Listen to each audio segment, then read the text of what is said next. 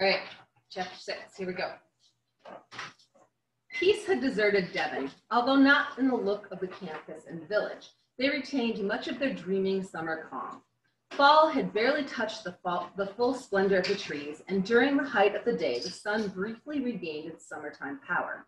In the air, there was only an edge of coolness to imply the coming winter. But all had been caught up, like the first fallen leaves, by a new and energetic wind. The summer session, a few dozen boys being force-fed education, a stopgap while most of the masters were away and most of the traditions stored against sultriness. The summer session was over. It had been the school's first, but this was its 163rd winter session, and the forces reassembled for it scattered the easygoing summer spirit like so many fallen leaves. The masters were in their places for the first chapel, seated in stalls in front of and at right angles to us, suggesting by their, own, by their worn expressions and careless postures that they had never been away at all. In an apse of the church sat their wives and children, the objects during the tedious winter months of our ceaseless ritual speculation.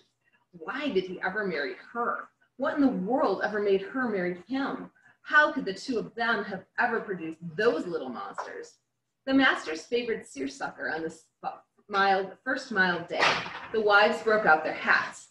Five of the younger teachers were missing, gone into the war. Mr. Pike had come in his naval ensign's uniform. Some reflex must have survived midshipman's school and brought him back to Devon for the day. His face was as mild and hopeless as ever, mooning above the snappy, rigid blouse. It gave him the air of an impostor.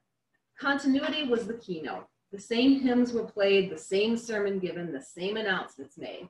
There was one surprise. Maids had disappeared for the duration. A new phrase then but continuity was stressed, not beginning again, but continuing the education of young men according to the unbroken traditions of Devon. I knew, perhaps I alone knew, that this was false. Devon had slipped through their fingers during the warm, overlooked months.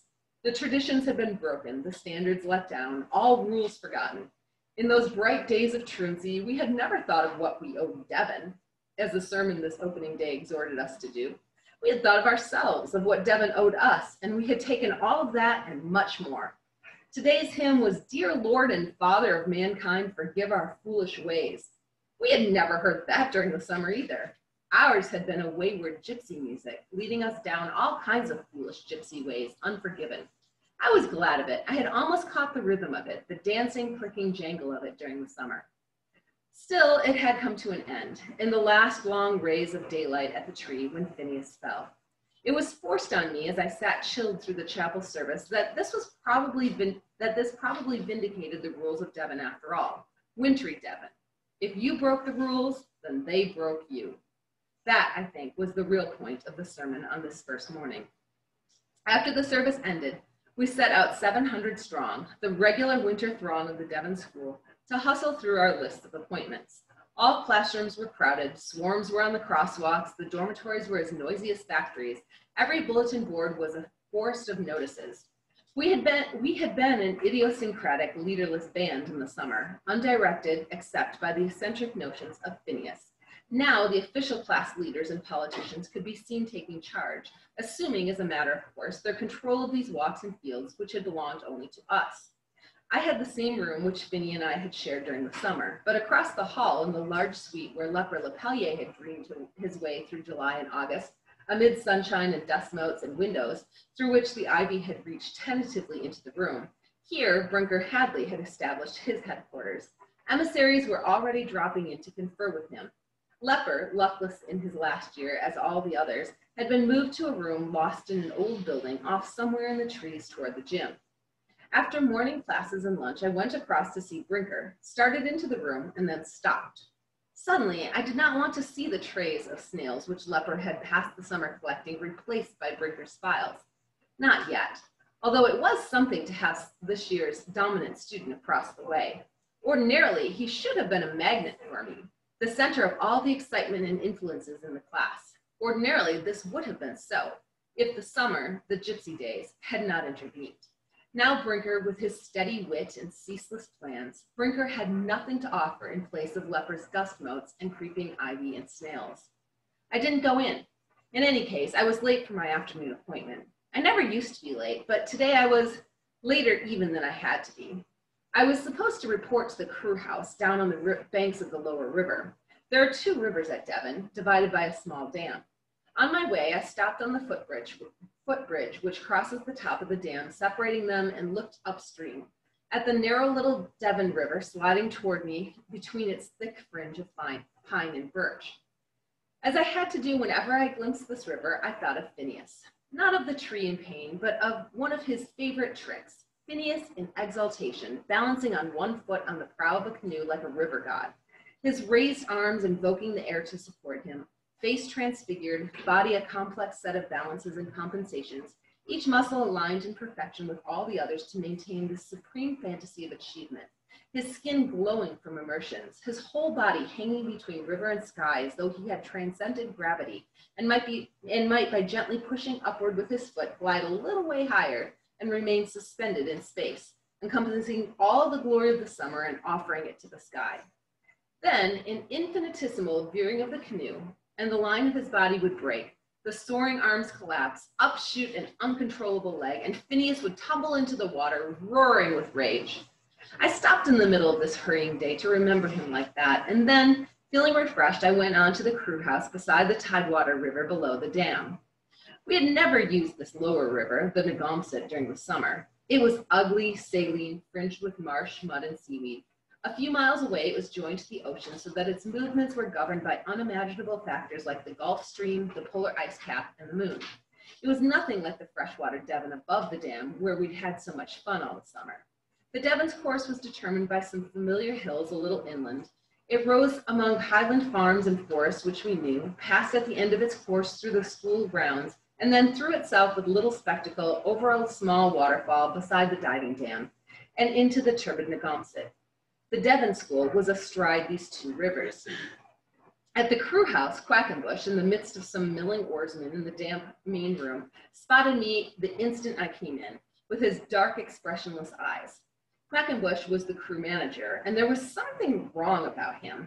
I didn't know exactly what it was, in the throng of the winter terms at Devon, we were at opposite extremities of the class, and to me, there only came the disliked edge of Quackenbush's reputation. A clue to it was that his first name was never used. I didn't even know what it was, and he had no nickname, not even a, an unfriendly one. Late Forrester, he said in his already matured voice. He was a firmly masculine type. Perhaps he, he was disliked only because he had matured before the rest of us. Yes, sorry, I got held up. The crew waits for no man. He didn't seem to think this was a funny thing to say. I did and had to chuckle. Well, if you think it's all a joke, I didn't say it was a joke. I've got to have some real help around here. This crew is going to win the New England Scholastics or my name isn't Cliff Quackenbush. With that blank filled, I took up my duties as assistant senior crew manager. There is no such position officially, but it sometimes came into existence through necessity and was the opposite of a sinecure.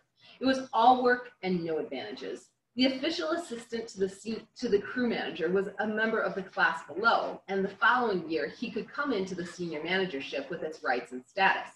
An assistant who was already a senior ranked nowhere. Since I had applied for such an nonentity of a job, Quackenbush, who had known as little about me as I had about him, knew now. Get some towels, he said without looking at me, pointing at a door. How many? Who knows? Get some, as many as you can carry. That won't be too many. Jobs like mine were usually taken by boys with some physical disability, since everyone had to take part in sports and this was all disabled boys could do. As I walked toward the door, I supposed that Quackenbush was studying me to see if he could detect a limp, but I knew that his flat black eyes would never detect my trouble. Quackenbush felt mellower by the end of the afternoon as we stood on the float in front of the crew house gathering up towels. You never rode, did you? He opened the conversation like that without pause or question mark. His voice sounded almost too mature, as though he were putting it on a little. He sounded as though he were speaking through a tube. No, I never did. I rode on the lightweight crew for two years. He had a tough bantam body, easily detectable under the tight sweatshirt he wore. I wrestle in the winter, he went on. What are you going to do in the winter? I don't know, manage something else. You're a senior, aren't you? He knew that I was a senior. Yeah. Starting a little late to manage teams, aren't you? Am I? Damn right you are! He put indignant conviction into this, pouncing on the first sprig of assertiveness in me. Well, it doesn't matter. Yes, it matters. I don't think it does. Go to hell, Forrester. Who the hell are you anyway? I turned with an inward groan to look at him. Quackenbush wasn't going to let me just do the work for him like the automaton I wished to be. We were going to have to be pitted against each other. It was easy enough now to see why, for Quackenbush had been systematically disliked since he first set foot in Devon, with careless, disinterested insults coming at him from the beginning, voting for and applauding the class leaders through years of attaining nothing he wanted for himself. I didn't want to add to his humiliations. I even sympathized with his trembling, goaded egotism he could no longer contain. The furious arrogance which sprang out now at the mere hint of opposition from someone he had at last found whom he could consider inferior to himself. I realized that all this explained him, and it wasn't the words he said which angered me.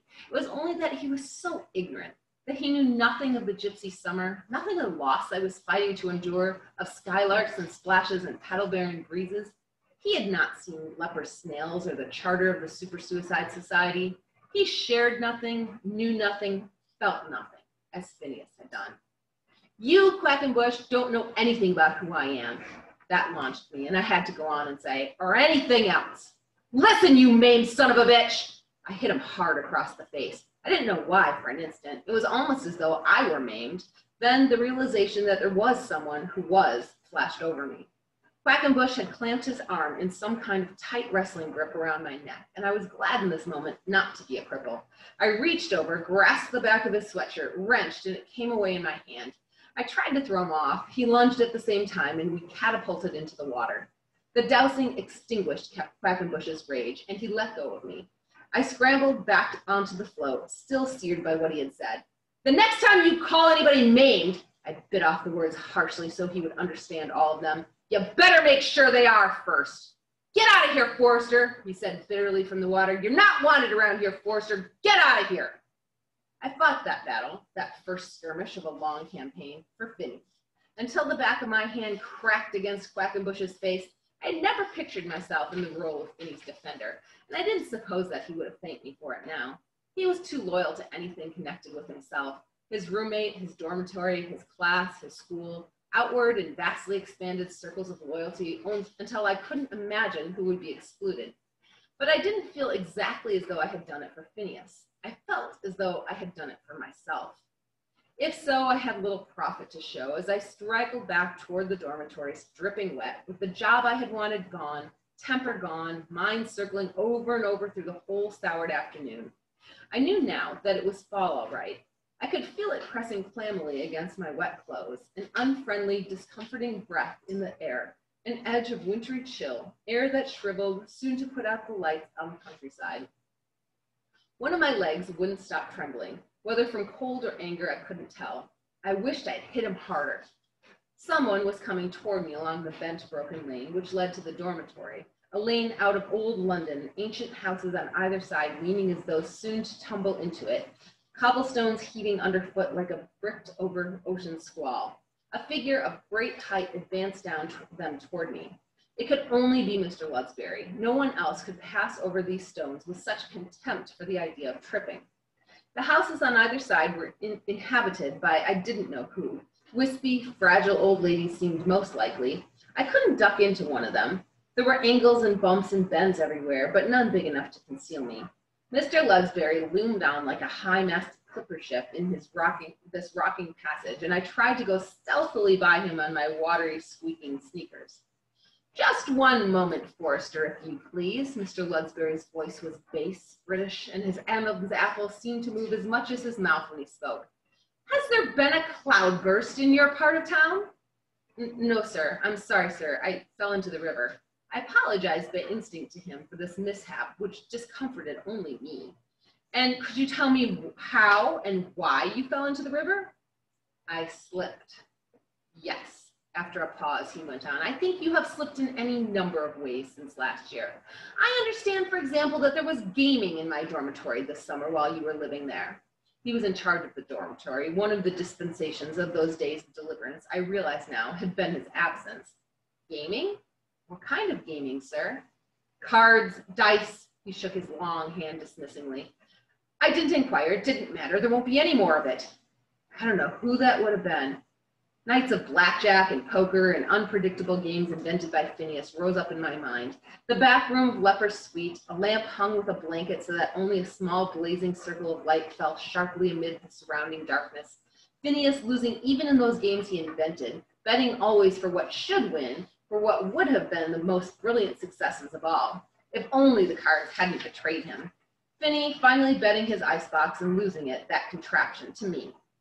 I thought of it because Mr. Ludsbury was just then saying, and while I'm putting the dormitory back together, I'd better tell you to get rid of that leaking icebox. Nothing like that is ever permitted in the dormitory, of course. I noticed that everything went straight to seed during the summer and that none of you old boys who knew our standards so much as lifted a finger to help Mr. Prud'homme maintain order. As a substitute for the summer, he couldn't have been expected to know everything there was to be known at once. You old boys simply took advantage of the situation. I stood there shaking in my wet sneakers. If only I had truly taken advantage of the situation, seized and held and prized the multitude of advantages the summer offered me. If only I had. I said nothing. On my face, I registered the bleak look of a defendant who knows the court will never be swayed by all the favorable evidence he has. It was a schoolboy look. Mr. Ludsbury knew it well. There's a long distance call for you, he continued in the tone of the judge performing the disagreeable duty of telling the defendant his right.